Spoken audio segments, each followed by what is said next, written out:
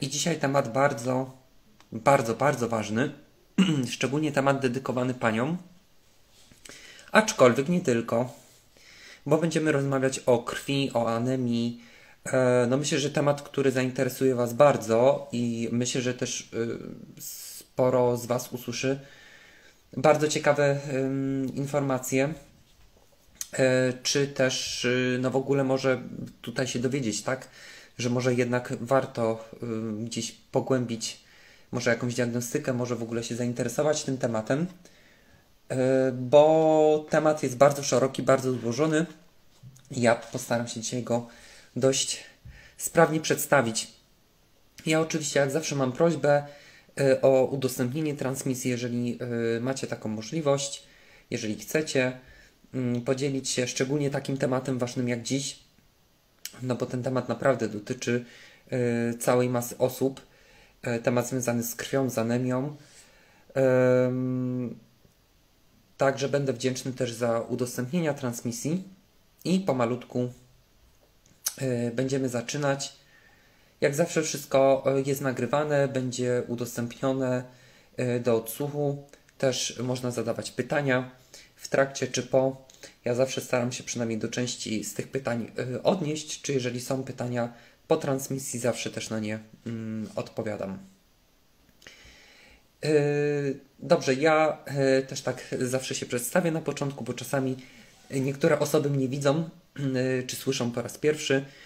Ja nazywam się Piotr Soniewski, jestem naturoterapeutą, też terapeutą i dietetykiem medycyny chińskiej i w swojej praktyce zawodowej bazuję bardzo dużo na terapiach naturalnych, ale skupiam się też przede wszystkim na e, terapiach, gdzie wykorzystujemy elementy żywienia. I e, w ramach mojej działalności co tydzień o godzinie 20 w poniedziałki spotykamy się na żywo na moich kanałach Taijutsu Terapie Holistyczne Jestem zawsze na Instagramie, na Facebooku, dlatego też zawsze kręcę głową na moich nagraniach, bo patrzę w dwie kamery naraz. E, natomiast co tydzień chcę przedstawić nieco inny temat i chcę Was po prostu zachęcić, żeby tutaj zgłębiać wiedzę, szukać dalej informacji, może korzystać z tutaj mm, porad specjalistów dlatego że co tydzień poruszamy nieco inny temat. Najczęściej są to oczywiście takie tematy związane z układem pokarmowym, e, czy krążymy mocno wokół żywienia, ale nie tylko. Natomiast dzisiaj e, padło e, bardzo mocno na mm, bardzo mocno na temat związany z krwią. Nie bez, przyczyny, nie bez przyczyny, jutro też jest akurat Dzień Kobiet, więc szczególnie E, ten dzisiejszy live dedykuję wszystkim paniom, bo rzeczywiście też na moich kanałach ten tydzień to jest e, tydzień taki związany mocno z krwią, z odżywianiem krwi. E, dlatego, że no, temat krwi, czy też właśnie tutaj anemii jest takim tematem bardzo uciążliwym, z którym zmaga się bardzo dużo osób. Szczególnie akurat panie, więc też y, tutaj no, składam przy okazji życzenia wszystkiego najlepszego z okazji jutr jutrzejszego święta.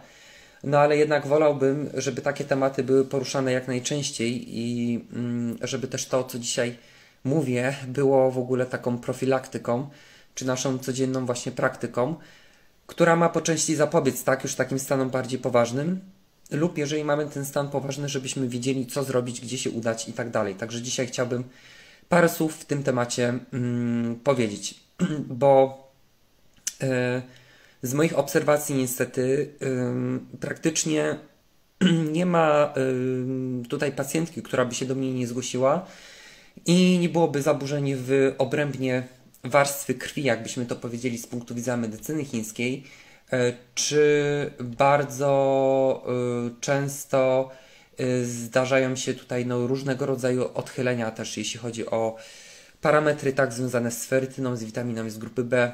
Też w morfologii to y, obserwujemy chociażby po mm, krwinkach czerwonych, krwinkach białych. Y, często tutaj pojawiają się różne objawy, o których ja też dzisiaj opowiem.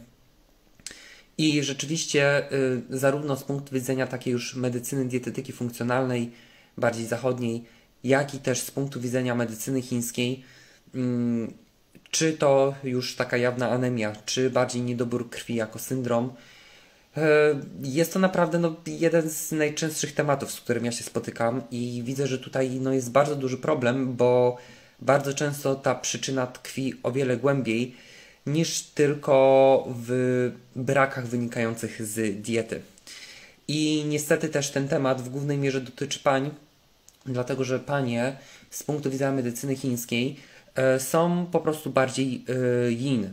To znaczy, że szczególnie, a tak jakby mm, energia yin jest też energią związaną z wodą, z płynami, e, ze wszystkim co płynne, a krew właśnie jest taką substancją płynną w naszym ciele i no też pod wpływem fizjologii w ogóle kobiet, chociażby tutaj tak cykl menstruacyjny i fakt, że yy, no panie co miesiąc tracą krew wraz z miesiączką, yy, czy dokładając do tego yy, ciążę, poród, gdzie też wiemy, że dochodzi do dużych ubytków krwi, czy dodatkowo dokładając właśnie stres, emocje, a mm, no, często tutaj kobiety też tak jakby są bardziej emocjonalne, czy tak jakby są no niestety bardziej podatne na e, wpływ emocji czy stresu. E, to wszystko no, skłania e, niestety tutaj ku takiej konkluzji, że no jednak to panie są bardziej predysponowane do tych niedoborów krwi z punktu widzenia medycyny chińskiej i rzeczywiście też w takiej diagnostyce laboratoryjnej czy po prostu w terapiach, w, też w, zbierając wywiad, obserwując objawy, częściej jednak obserwujemy anemię u kobiet, aczkolwiek e, nie chcę, żeby też to tylko tak wybrzmiało, że ten temat dotyczy tylko i wyłącznie pań, bo niestety też coraz częściej, coraz więcej panów e, ma tutaj tego typu problemy, e, co też pokazuje, że e, no na przykład nasz obecny styl życia no jednak bardzo mocno ingeruje mm, w nasze ciało i niestety między innymi e, no tutaj zasoby naszej krwi bardzo na tym e, cierpią. Natomiast jeśli chodzi w ogóle o pojęcie krwi w medycynie chińskiej, to ono wybiega o wiele dalej niż tylko i wyłącznie krew z punktu widzenia medycyny zachodniej. Ja ten temat też będę dzisiaj rozwijać bardziej u nas na prywatnej grupie, która nazywa się tak samo Taiji terapie holistyczne. E, I tam będziemy, no myślę, że dzisiaj przez godzinę dyskutować na temat krwi. Ja szczegółowo będę e, omawiać e, syndrom niedoboru krwi. Natomiast jeśli chodzi o ten niedobór krwi, to z punktu widzenia medycyny chińskiej chodzi po prostu o to, że mając różnego rodzaju narzędzia diagnostyczne, na przykład takie jak um, badanie pulsu, jak wywiad, jak tak diagnostyka z języka. Też trzy dni temu prowadziłem takie bardzo duże szkolenie z diagnostyki z języka w Instytucie Zielarstwa Polskiego. E, tego typu narzędzia mogą nam powiedzieć, że na przykład u danej osoby obserwujemy ten syndrom. I to brzmi dość poważnie, tak? Mówimy niedobór krwi, więc no, już mamy od razu skojarzenia, że naprawdę tej krwi też fizycznie jest bardzo mało czy mamy właśnie już jakąś bardzo mocno zaawansowaną anemię. Natomiast to jest bardzo ważna rzecz, którą chcę podkreślić. W terapiach naturalnych i szczególnie w medycynie chińskiej mamy takie narzędzia diagnostyczne, które bardzo często pomagają nam wykryć nawet takie zmiany subtelne, czy nawet zmiany już bardziej na poziomie energetycznym, które nie do końca jeszcze manifestują się w naszym ciele. Czyli na przykład, mając już konkretne objawy z punktu widzenia medycyny chińskiej, które świadczą o danym syndromie, i tak jakby no już sygnalizują nam, że tak, to jest ten moment, żeby podjąć działanie, to z punktu widzenia bardziej medycyny zachodniej, wykonując badania, nie zawsze tutaj wyciągniemy takie spójne wnioski, czy nie zawsze zauważymy, mm, że na przykład mamy już taką jawną anemię. I generalnie to jest to, za co ja bardzo cenię terapie naturalne, bo one bardzo wcześnie mogą nas ukierunkować że w naszym ciele zaczynają się dziać rzeczy już niepokojące i właśnie teraz trzeba podjąć to działanie, bo e, proszę też, żebyście zapamiętali, że to nie jest tak, że my się budzimy i nagle mamy anemię, tak? Mamy niedobór żelaza, niedobór y, witamin z grupy B. To jest proces, który trwa pewien czas. Oczywiście w wyniku y, na przykład jakiegoś wypadku, gdzie nagle stracimy dużo krwi, czy pojawi się jakaś, nie wiem, bardzo obfita menstruacja, wtedy przy takim mocnym, mocnej utracie krwi rzeczywiście ten stan bardzo szybko może się pogorszyć. Natomiast jednak w mojej praktyce widzę, że to są procesy wieloetapowe tak naprawdę, bardzo złożone, które trwają tygodniami, miesiącami, a czasami nawet i latami. Natomiast jeśli chodzi o te objawy tego syndromu niedoboru krwi, to on akurat bardzo często pokrywa się z takimi objawami anemii. Natomiast przy tym niedoborze krwi e, w medycynie chińskiej bardzo często widzimy e, zaburzenia też, które dotyczą przemiany drzewa, dlatego że ta przemiana drzewa to jest ta przemiana, do której przypisujemy wątrobę, pęcherzyk żółciowy, ale przypisujemy też warstwę krwi. Generalnie to jest temat bardzo ważny i ja też szczególnie go poruszam teraz, właśnie kiedy zbliżamy się do wiosny takiej już y, astrologicznej, kiedy mamy już tak naprawdę wiosnę z punktu widzenia medycyny chińskiej, bo właśnie wiosna to jest ten okres, kiedy szczególnie powinniśmy wzmacniać naszą krew i kiedy szczególnie właśnie teraz, o tej porze roku, yy, będą się nasilać objawy związane z wątrobą, pęcherzykiem żółciowym i niedoborem krwi. Jeśli chodzi o ten niedobór krwi, to bardzo często obserwujemy zmęczenie, słabość, yy, suchość, szczególnie suchość skóry, może być to też suchość śluzówek, yy, mogą też być przekrwione na przykład śluzówki, E, lub mogą być też blade, to zależy, tak, e, co tam więcej się dzieje. Natomiast bardzo często też taka bladość, na przykład e, blade ciało języka, blade śluzówki, blade wargi, blade, tak w ogóle blada cera, to już może być sygnał tego syndromu niedoboru krwi. Bardzo często pojawia się wypadanie włosów, łamanie paznokci, upań, widzimy y, no, całe spektrum zaburzeń, jeśli chodzi o cykl menstruacyjny.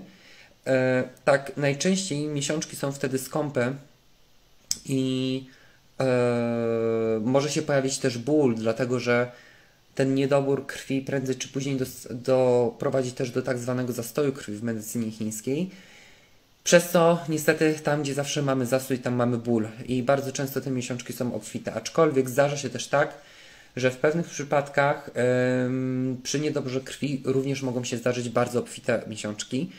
I to jest sytuacja no, dość taka problematyczna, bo mając już niedobór krwi i mając bardzo intensywne miesiączki, my niestety bardzo pogłębiamy ten niedobór krwi. Natomiast takie szczegóły no, już y, zostawiamy do rozpatrzenia oczywiście w gabinecie specjalisty, który potrafi dokładnie ocenić sytuację i powiedzieć, co się dzieje, bo to też nie jest tak, że mamy jeden syndrom, czy tak naprawdę te syndromy często nakładają się jeden na drugi i yy, zawsze szukamy tej przyczyny. I powinniśmy szukać tej przyczyny i w medycynie chińskiej, yy, czy z punktu widzenia medycyny chińskiej, i z punktu widzenia naszej medycyny, czy yy, takiego podejścia bardzo funkcjonalnego.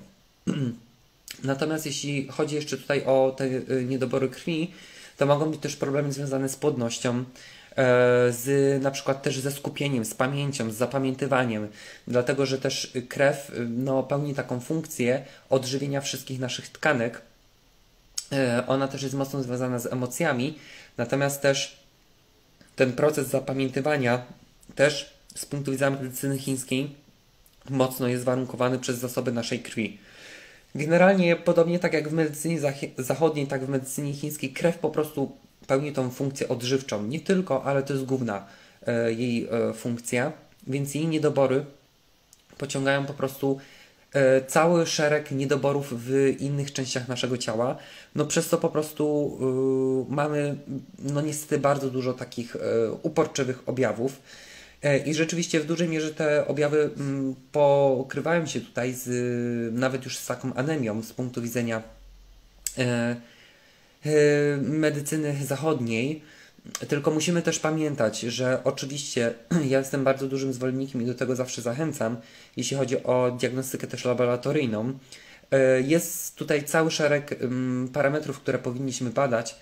Ja zawsze zachęcam, jeżeli Was to interesuje, u mnie na stronie internetowej w zakładce konsultacji żywieniowej i prowadzenie terapii, tam jest taki plik badań, E, które ja sugeruję, że warto wykonać, tak? E, czy wykonać, robić te badania regularnie, bo po tych parametrach bardzo szybko możemy się zorientować mniej więcej w jakim stanie jest e, nasze zdrowie. Natomiast tam między innymi macie wypisane pewne rzeczy, po których się możemy szybko zorientować, tak? Co się dzieje z między innymi tutaj e, naszą krwią, ale właśnie z tym między innymi zapasem żelaza, chociaż nie tylko, bo tak naprawdę mamy różne rodzaje anemii i do tej anemii może właśnie doprowadzić niedobry witamin z grupy B, szczególnie chodzi o witaminę B12, e, B9, kwas foliowy, tak, niski poziom też hemoglobiny tutaj e, jest takim wyznacznikiem. Też erytrocyty, czyli krwinki czerwone. E, też czasami niskie leukocyty mogą tutaj świadczyć o niedoborze witamin z grupy B. E, natomiast mamy jeszcze ferytynę, jako też taki wskaźnik, który bardzo mocno nam się wiąże z mm, właśnie zapasem żelaza.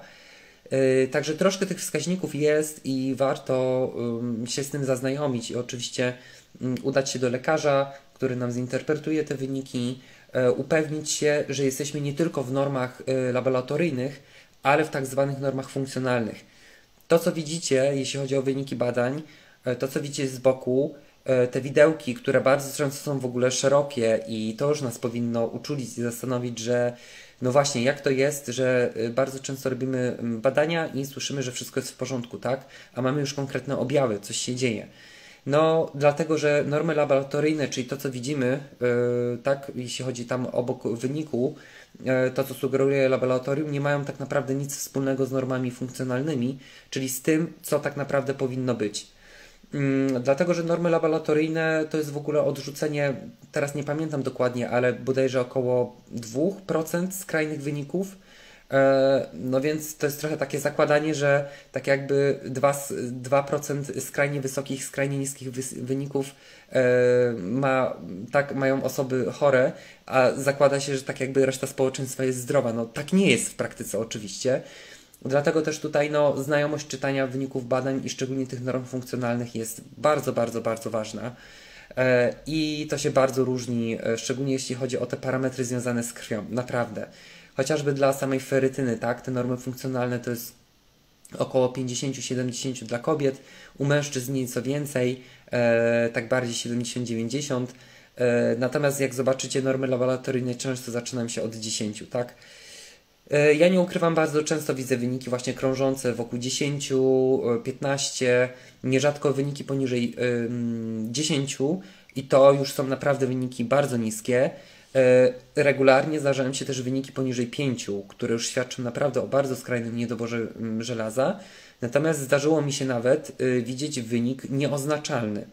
Czyli praktycznie tej ferytyny nie było, czyli praktycznie no tutaj utrata była przeogromna i to nie był błąd E, pomiaru, bo oczywiście też zawsze, kiedy mamy skrajny wynik, możemy e, domniemywać, że jest też oczywiście błąd w laboratorium. Natomiast po no, wielu parametrach możemy się zorientować, co tutaj się dzieje. Ja ten temat rozwinię właśnie dalej na tym naszym drugim live tutaj na grupie. Natomiast tak jakby, no warto mieć to na uwadze, tak? Bo często słyszymy, że jest w porządku a kiedy weźmiemy te normy funkcjonalne, to okazuje się, że jest mm, źle i to jest bardzo źle. I chociażby samo o tym świadczy to, że mamy po prostu konkretne objawy, tak, które nam sugerują, że jednak jest problem z tym żelazem. Też najważniejsza rzecz, jeżeli wiecie, że macie problem z y, żelazem, to szukajcie w ogóle przyczyny, tak? Dlatego, że bardzo rzadko jest tak, że mamy y, tą na przykład anemię z niedoboru żelaza, i mamy tutaj tylko i wyłącznie takie wskazanie dietetyczne. To się bardzo rzadko zdarza. I też trochę takim mitem jest, że tylko i wyłącznie osoby na diecie roślinnej, e, właśnie weganie, czy tutaj też wegetarianie, którzy mocno ograniczają produkty zwierzęce, że to są jedyne grupy, które są zagrożone anemią. Ja bardzo często widzę w ogóle y, też wyniki bardzo niskie i bardzo niepokojące u osób, które paradoksalnie jedzą nawet dużo białka zwierzęcego, E, natomiast zazwyczaj to jest no właśnie taka forma podania, która za bardzo no, nie pozwala na uzupełnienie tego żelaza, lub w tle są poważniejsze problemy, które powodują właśnie, że niestety mamy duży ubytek tego żelaza. To mogą być przeróżne rzeczy, przerosty bakteryjne, właśnie SIBO, IMO, o których się dużo mówi. E, to mogą być tak zaburzenia w ogóle już w żołądku, które powodują, że mamy osłabiane wchłanianie chociażby witaminy B12, mogą być pasożyty, mogą, tak, mogą być problemy z dużym wchłanianiem właśnie w y, dwunastnicy. Tych rzeczy jest bardzo, bardzo dużo, właśnie też celiakia. E, tu już trzeba naprawdę udać się do specjalisty, zrobić badania i to rzetelnie ocenić. Bardzo często niestety to jest szukanie igły w stogu siana, aczkolwiek jeżeli przeprowadzimy y, diagnostykę taką wstępną, mamy y, dobry wywiad i no, jest ktoś, kto potrafi to wszystko poskładać w całość, to jednak powinniśmy dość szybko przynajmniej ograniczyć gdzieś tutaj nasze pole poszukiwań i to mocno ukierunkować. Tak naprawdę suplementacja z samego żelaza tutaj nie rozwiązuje problemu, bo tak jak powiedziałem, bardzo rzadko jest tak, że um, tylko i wyłącznie to się bierze z tego, że na przykład mamy za mało e, żelaza w diecie, czy witamin z grupy B. Bardzo często jest to uwarunkowane też innymi tutaj rzeczami. Nawet to mogą być rzeczy już związane bardziej z, naszą, z naszą anatomią i genetyką. Także tego jest naprawdę bardzo, bardzo dużo. E, natomiast tutaj e, no na pewno bym uczulił, jeśli chodzi o suplementację żelaza. Oczywiście, jeżeli ten wynik jest krytyczny, też rzeczywiście zawsze można się tutaj ratować nawet wlewami, tak, jeśli chodzi o bardzo niski poziom. Też w ogóle, jeżeli jest niski poziom na przykład hemoglobiny, e, już taki no krytyczny, to jest od razu zalecenie nawet, żeby przetaczać krew. Natomiast no miałem takie tak przypadki w swojej praktyce, gdzie były osoby, które no, miały przetaczaną krew, te przyczyny nie były wyłapywane, były przetaczania właściwie co miesiąc i pewnymi elementami, e, ale ogromem pracy udało się na przykład zahamować i to na wiele miesięcy e, to przetaczanie krwi i nawet sami lekarze byli bardzo zaskoczeni, no ale jak to? W jaki sposób? No, są tutaj sposoby też, jeśli chodzi o na przykład terapie naturalne, czy szczególnie zioła, zioła chińskie, które też mają przeogromny potencjał terapeutyczny. Natomiast y, pamiętajcie też o tym, że y, doustna suplementacja żelaza niesie za sobą też niestety y, przykre konsekwencje, bo o ile o tyle, no jeżeli mamy bardzo duże zagrożenie, to nie ma co się zastanawiać. Oczywiście wybieramy to mniejsze zło i y, stosujemy się do zaleceń y, i suplementujemy żelazo. Czy szczególnie jeżeli mówimy o kobietach w ciąży, gdzie ten problem się pojawia. Natomiast ja już tego nie chcę zgłębiać, bo to jest na osobny y, webinar. E, też zresztą prowadziłem takie webinary na temat przygotowań do ciąży, odżywiania w ciąży i dbania o siebie w połogu. Natomiast właśnie jeżeli e, jest duże zagrożenie e, na przykład dla kobiety w ciąży, dla płodu, czy generalnie dla osoby, która ma duży niedobór żelaza, to oczywiście suplementujemy to żelazo, tak? Natomiast no jeżeli mamy ten niedobór taki, że to nie jest jeszcze jakieś bardzo duże zagrożenie dla naszego zdrowia i życia, to no, mamy czas też, żeby szukać tej przyczyny, czy powinniśmy szukać, tak? Czy nawet przy tej suplementacji chwilowej powinniśmy szukać przyczyny, bo bardzo często jest tak, praktycznie zawsze my przestajemy suplementować to żelazo i wracamy do punktu wyjścia, tak? I no właśnie, bo nie została wyłapana ta przyczyna. Mm, a to, co zacząłem mówić, musicie pamiętać, że doustna suplementacja żelaza między innymi no, niestety działa dość prozapalnie, jeśli chodzi o nasz układ pokarmowy, a szczególnie negatywnie moduluje e, naszą mikrobiotę jelitową. E, właśnie przesuwa ten fenotyp mikrobioty jelitowej bardzo w takim kierunku prozapalnym. E, też może nastąpić przerost takich bakterii ginijnych proteolitycznych, no i to pociąga dalej cały szereg y, problemów, tak? Także mm, no nie zawsze jest to takie rozwiązanie idealne. Y, także warto zawsze się zastanowić, tak? I szukać naprawdę tej przyczyny, a tych przyczyn jest bardzo dużo. Y, natomiast jeśli chodzi już o takie rozwiązania, to oczywiście to, co ma bardzo dużo żelaza w diecie będzie jak najbardziej wskazane. Wszystkie rzeczy zielone, tak? To, co ma chlorofil, to bardzo dobrze odżywia naszą krew. Między innymi tutaj chodzi o też foliany, z którymi mamy bardzo duży problem i no też mm, niestety, ale bardzo dużo osób suplementuje ym, y, syntetyczny kwas foliowy y, i bardzo często też tym sobie robimy krzywdę. Y, natomiast też nie chcę już wchodzić w ten temat, bo to też jest zupełnie inna bajka, ale tutaj się łączy, tak? Między innymi z taką anemią wywołaną z niedoboru kwasu foliowego. Y, ten temat też jest bardzo ważny w ciąży. Mm, no, coraz więcej się mówi o y, metylacji i polimorfizmach, szczególnie jeśli chodzi o gen MTHFR, chociaż ten temat jest o wiele, wiele szerszy i o wiele bardziej złożony. bo nie dotyczy tylko i wyłącznie tego jednego genu.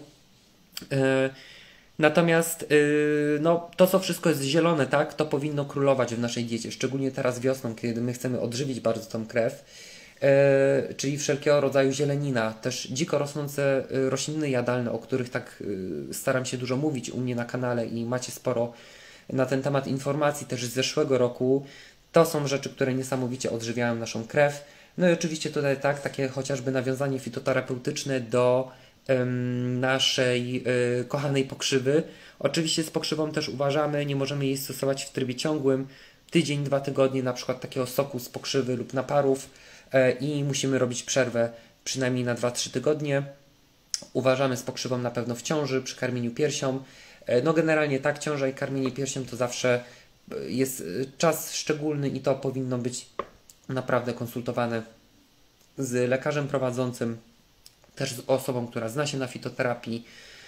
Natomiast jeśli chodzi o pozostałe elementy, oprócz tych rzeczy zielonych, no to oczywiście to, co dostarcza szczególnie tego żelaza y, chemowego, czyli takiego najlepiej przys przyswajalnego, czyli y, tutaj no, produkty zwierzęce typu wątróbka, tak? Jeśli chodzi o wątróbkę, to jest w ogóle rzecz, która, jak sobie otworzycie tabelę i popatrzycie na różnego rodzaju makro, mikroelementy, witaminy, to wątróbka najczęściej jest na pierwszym miejscu. To jest w ogóle bomba witaminowa i warto regularnie spożywać wątróbkę. Ja nawet mówię, że warto spożywać regularnie wątróbkę, y, jeżeli mm, nie jest ona zawsze ekologiczna, bo czasami mamy nawet więcej korzyści z tego, że my zjemy tą wątróbkę, która nawet gdzieś tam może jest nieco zanieczyszczona, ale dostarczymy sobie nieporównywalnie dużo no, przeróżnych substancji w porównaniu z innymi elementami z diety. Mm, nawet niektórzy robią tak, że przy bardzo skrajnym e, niedoborze e, tutaj żelaza robi się po prostu szejki z surowej wątróbki e, i niektórzy tym się też ratują. Natomiast tam oczywiście się dodaje maliny czy jakieś inne rzeczy takie bardziej słodkie, żeby też zneutralizować ten smak wątróbki. Natomiast no, spójrzmy chociażby na dalekie kraje północy, to co jest po dziś dzień. E, tak, w takich e, ludach e, dalekiej północy, to co robią, no to właśnie spożywanie nawet surowych organów, tak, u zwierząt, które upolują. To jest między innymi związane z tym, że wtedy dostarczają bardzo dużo witamin z grupy B, żelaza, cynku, też koenzymu Q10, bo on między innymi jest zgromadzony w wątrobie i w sercu. E, oczywiście zawsze uważamy, tak, no bo jedząc surowe mięso e, zawsze możemy też dostarczyć pasożyty do naszego organizmu. No, ale y, tak jakby y, są tutaj różne podejścia. Oczywiście ja nie namawiam nikogo, żeby jadł surowej wątróbki, tylko podaję takie przykłady. Natomiast y, ta obróbka po, po, po obróbce termicznej nam już wystarczy. Ja też odsyłam do mnie na blog tam też macie przepisy. E, ja polecam bardziej wątróbkę drobiową niż wieprzową e, lub bardzo dobra jest z królika, bo ona e, tak jakby jest najmniej, smakuje wątróbką i nawet dzieci ją chętnie zajadają. Natomiast też na przykład czerwone mięso, tylko oczywiście uważamy z czerwonym mięsem, oczywiście też serce, tak? Jeśli chodzi tutaj o podroby, to też jest taka rzecz, która dobrze odżywi naszą krew. E, generalnie wszystkie podroby, no to niestety jest y, kiedyś w naszej kuchni, e, szczególnie tej przedwojennej, używano bardzo dużo podrobów. E, teraz używa się ich mniej, a szkoda, bo one są po prostu dla nas bombą, niesamowitą, odżywczą, witaminową. Często znajdziemy tam takie rzeczy, które nam ciężko znaleźć w innych produktach. Natomiast y, mamy jeszcze jajka, tak, żółtko jaj, tu szczególnie jeśli chodzi o wegetarian. To jest taka alternatywa. E, czerwone mięso, no też uważamy, tak, nie jemy zbyt e, często tego czerwonego mięsa. E, mm, no, czasami się mówi tak, tatar, no ale no właśnie, to surowe mięso. Ja też nie jestem zwolennikiem jedzenia surowego mięsa, bo no to ryzyko obecnie, jeśli chodzi o pasożyty, jest przeogromne, więc raczej obróbka termiczna, podobnie jak jajko, tak, chociażby ze względu na salmonellę, e, też po obróbce termicznej, czy przynajmniej ta sparzona, tak, spa, sparzona skorupka, E, dalej wszystko to co zielone, ale buraki, tak? Buraki, zakwas z buraków to jest niesamowita rzecz. Naprawdę y, słyszałem już mnóstwo takich historii, że ktoś piciem samego kwasu z buraków wyprowadził się z no, dość kiepskich tutaj takich parametrów, jeśli chodzi o parametry związane z zasobem mm, między innymi żelaza. Natomiast oczywiście to nie jest zawsze remedium na wszystko zawsze są, tak, jest coś za i coś przeciw. No wiadomo, na przykład zakwas buraków to jest kiszonka, tak? Więc osoby, które mają problemy z histaminą, przerosty bakteryjne, no muszą uważać. Aczkolwiek uważam, że zakwas buraków to jest jedna z najbezpieczniejszych y, kiszonek, która jest bardzo dobrze tolerowana y, przez wiele osób, które też mają, no mocno tutaj takie problemy związane z układem pokarmowym. E, są też inne elementy, mamy też zioła chińskie, e, mamy m.in. czerwone daktyle, tak, daktyle chińskie, dazao, czyli owoc górzyny pospolitej. E, tych rzeczy jest bardzo, bardzo dużo. Natomiast no tutaj ten temat jest złożony, bo on nie tylko dotyczy diety, ale musimy szukać tych przyczyn, to jest jedno. Zadbać o naszą dietę to drugie, ale między innymi sen jest bardzo ważnym takim elementem, bo podczas snu się regeneruje nasza krew, dlatego powinniśmy chodzić jak najwcześniej spać.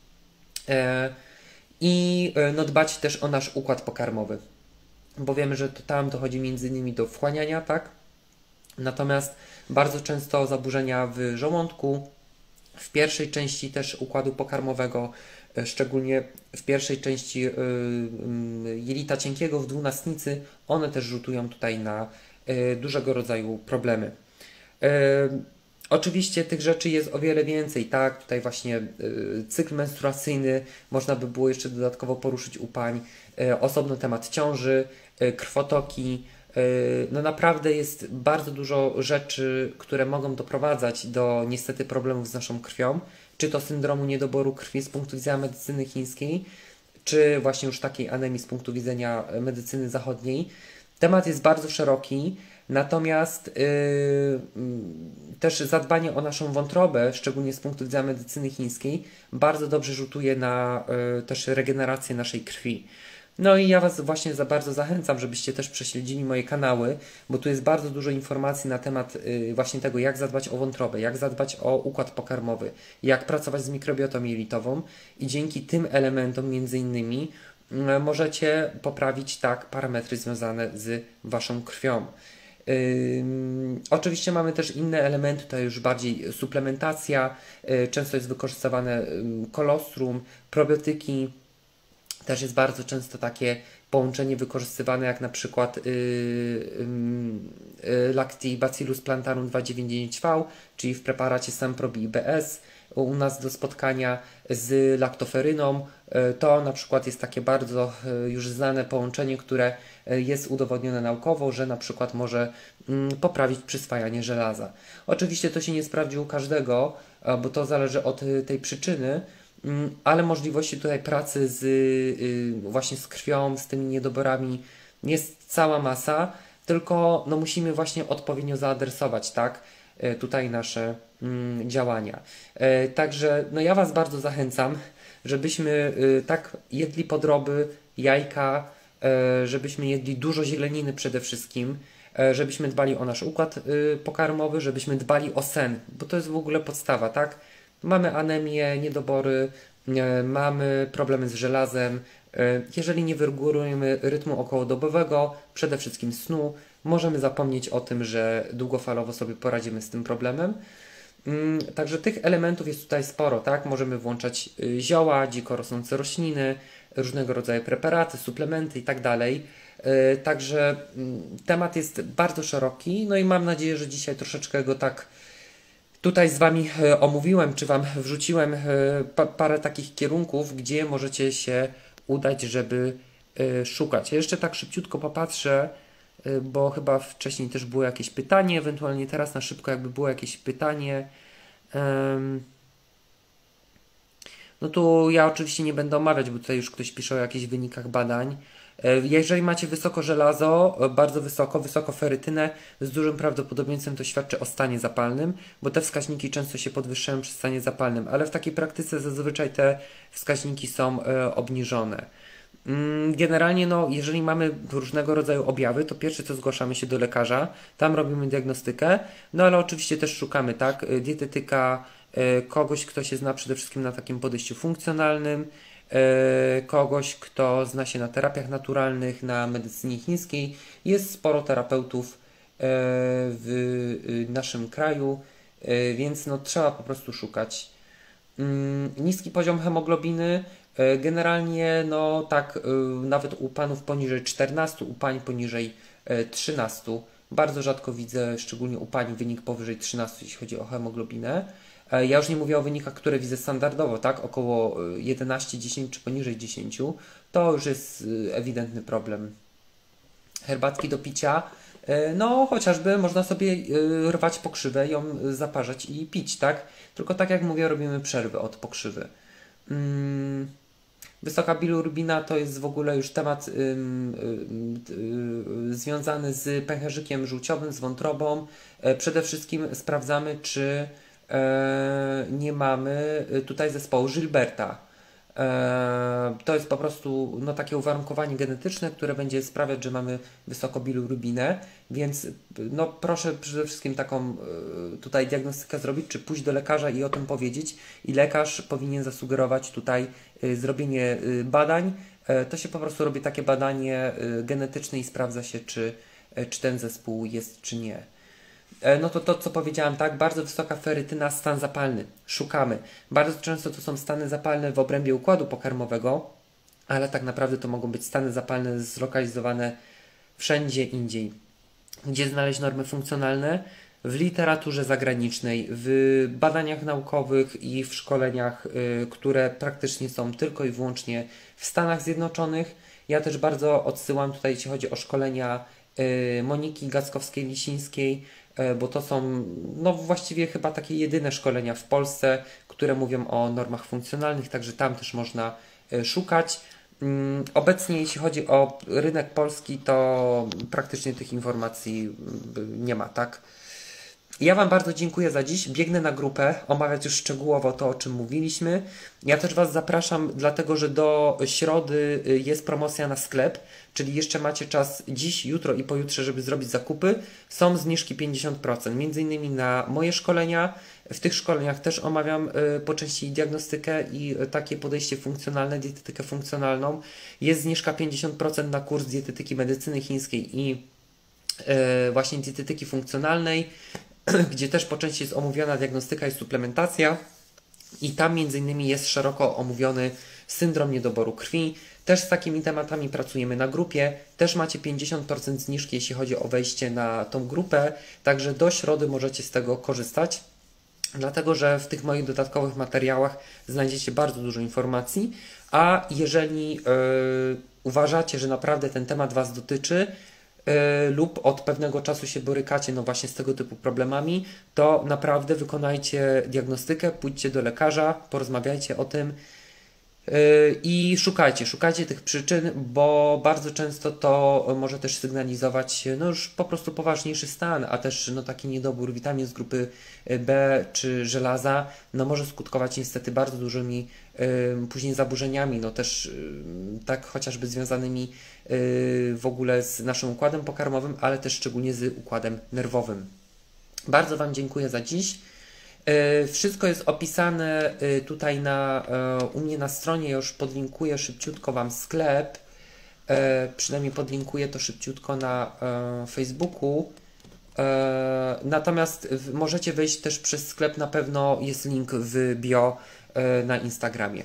Dobra, ja Wam bardzo dziękuję. Będzie mi miło, jak zostawicie też opinię po tym spotkaniu, czy y, udostępnicie to dalej, żeby jak najwięcej też osób mogło z tego skorzystać, bo y, no, wydaje mi się, że mało osób ma y, taką wiedzę czy takie informacje, a to też może skrócić bardzo gdzieś poszukiwanie problemów zdrowotnych u wielu osób.